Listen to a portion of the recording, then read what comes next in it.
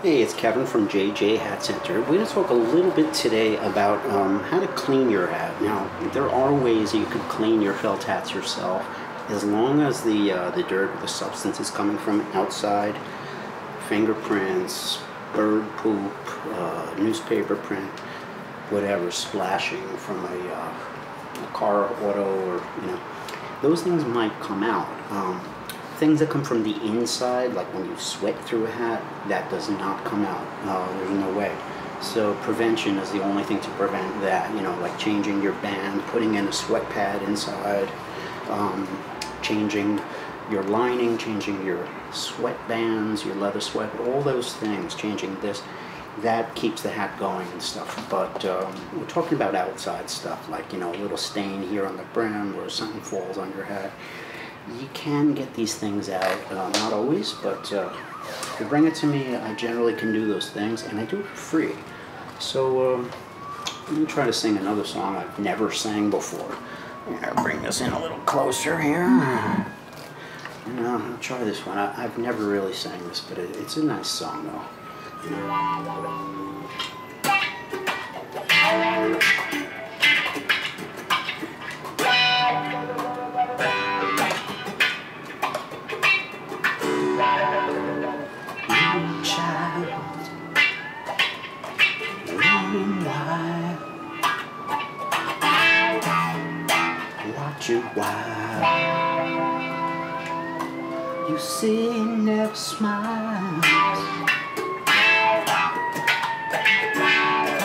Broken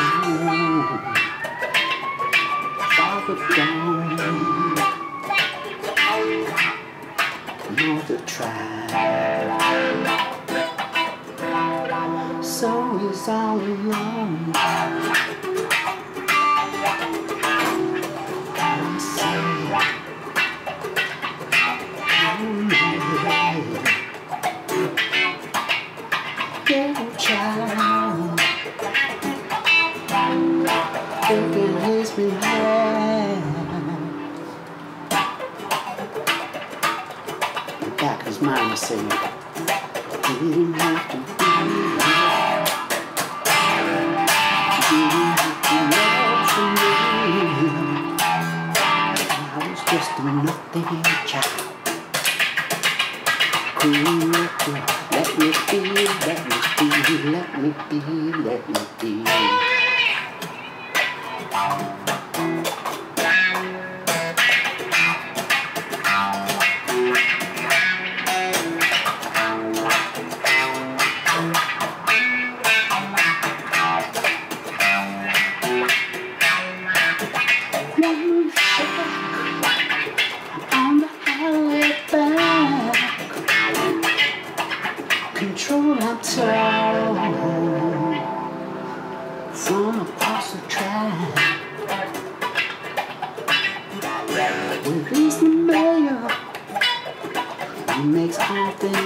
He lives outside. Oh, I polluted air. I didn't have to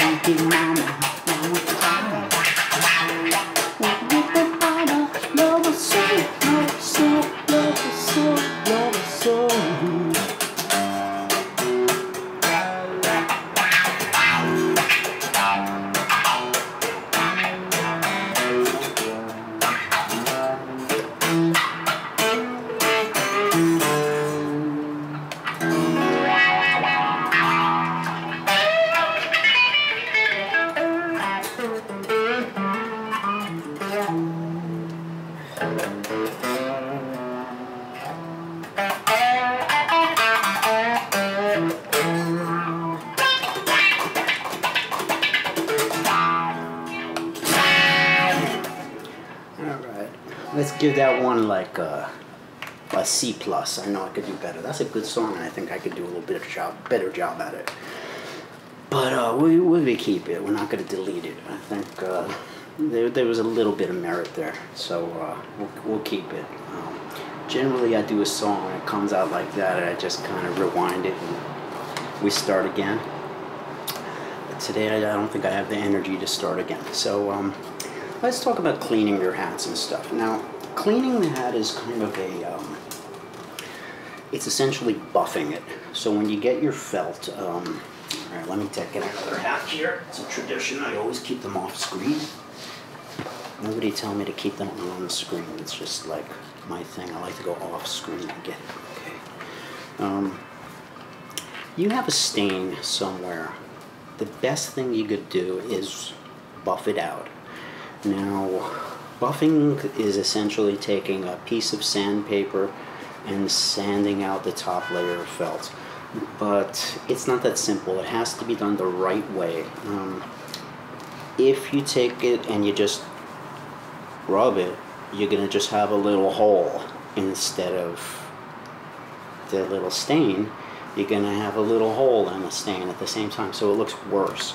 So there's a very, very, I'm telling you the truth, there's a very good chance that by doing this, you're going to make your stain worse. So you have to, sometimes you have to take a test. You have to see like how deep it is. You have to just take a look, you know.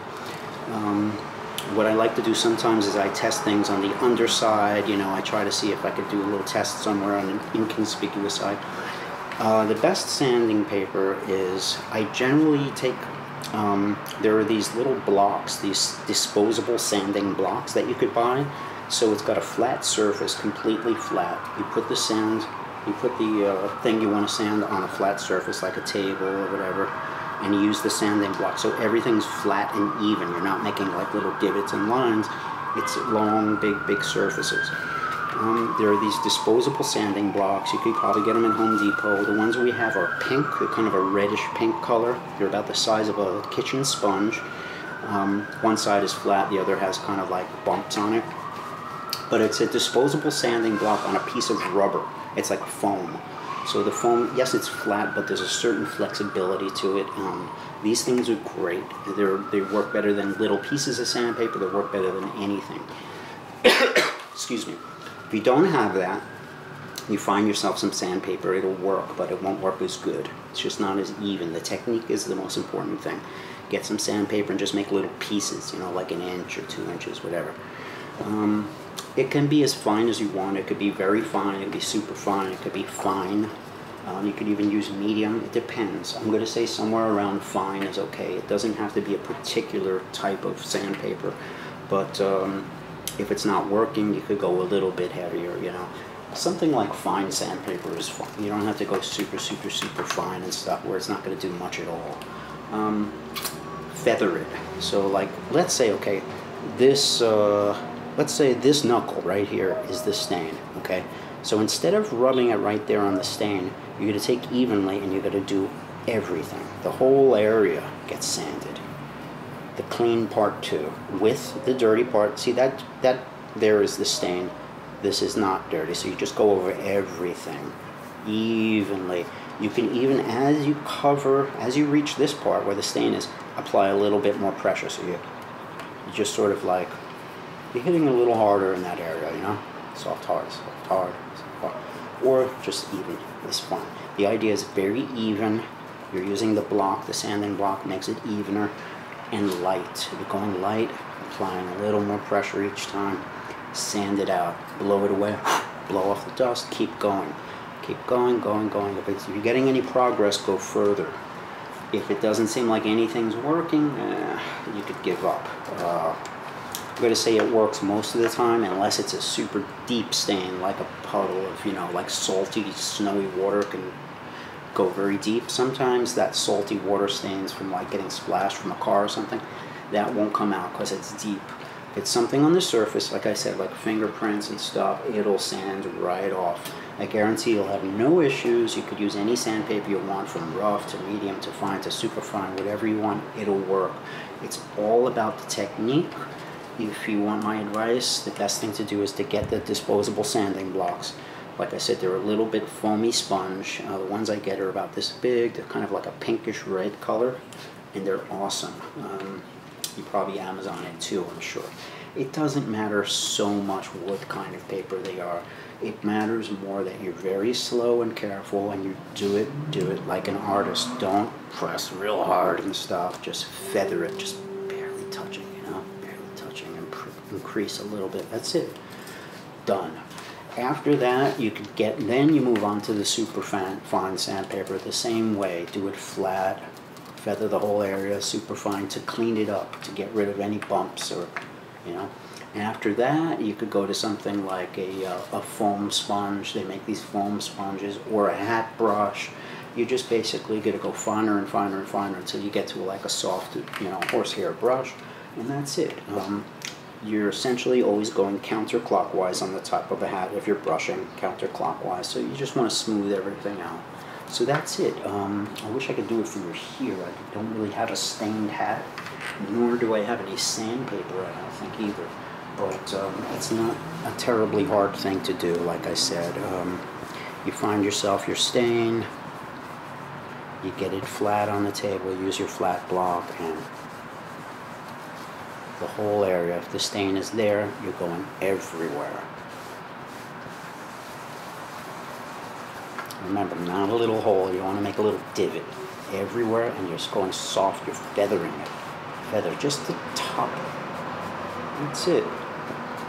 I've seen some people get um, results with pencil erasers, like if you have um, a ballpoint pen or pencil or anything like that, good pencil eraser works. You have to test it first on paper, because some erasers make it worse. They just make pink stains on your hat the white erasers, the good gum erasers that come in like, you know, the big square things you buy from school, those are good.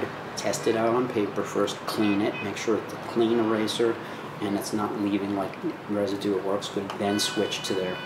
Go over the pen mark, bam, bam, bam, bam, bam, bam, bam, bam, bam, erase it, erase it, and go back with some sandpaper.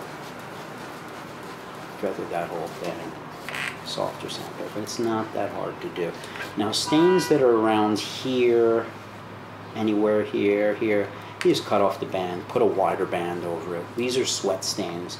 That's the idea. If you have a thin band, so let's say a Stratoliner, and that's your band, like right here, if you get a stain anywhere here, here, here, here, here, you just rip the band off and put a wider band, so just cover it.